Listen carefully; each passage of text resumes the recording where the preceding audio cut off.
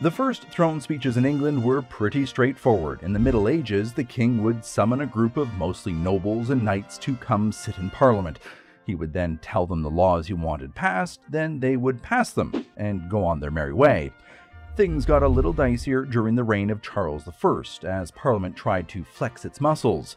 In short, Charles showed up with armed guards to arrest five MPs. There was a civil war, Charles lost his head, and a whole bunch of new traditions around Parliament were born.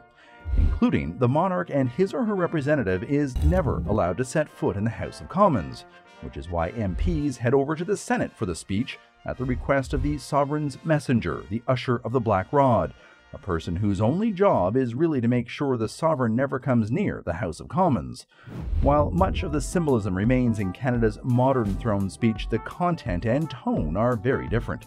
The House of Commons and Senate still can only start sitting after being summoned by Her Majesty, but while the Governor General delivers the opening speech on her behalf and may write some personal opening remarks, the meat of the speech is entirely written by the government. And rather than locking up opposition MPs for treason, they are now given at least six days to attack, criticize, and debate the speech. And whether these plans and priorities come to pass is entirely up to the House of Commons and Senate to decide.